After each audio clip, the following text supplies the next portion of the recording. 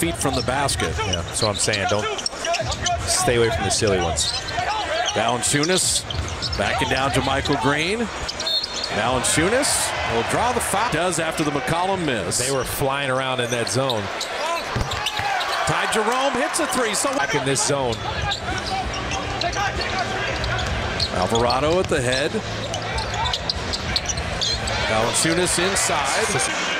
JaMychal Green was the only one. What are you doing? That's the wrong guy to throw it into. And he's got to use speed and quickness on Valanciunas. Alvarado knocked that away.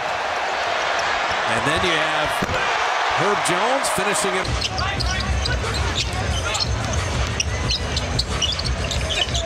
Column. And Valanciunas with a small defender, or you go at his defender. Jordan Poole. Alvarado got through that screen. And Poole, the one-foot runner. It's fun. Back in this zone. They've used this zone to throw teams off before. Ingram. Came off of there with some speed against Larry Nance Jr. They get Ingram off the line. Zion. And he wants to just go in the paint. Michael knew that. The cutting. Nance Jr. the roller. Naji Marshall to Alvarado.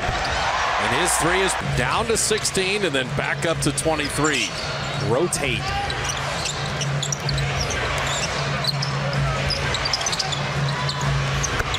Now You got to keep your head. Don't get frustrated.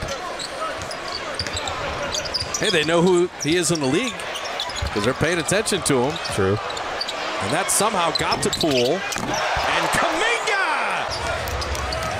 Jordan Poole in on Ingram. Look at the speed dribble and finish. That's more entertaining.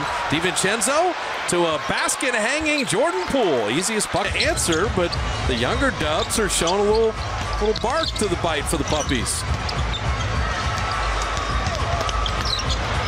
Naji Marshall. DiVincenzo trying to stay with McCollum. CJ down the lane, little floater, that's pretty. The one-hand pickup pass is a turnover waiting to happen.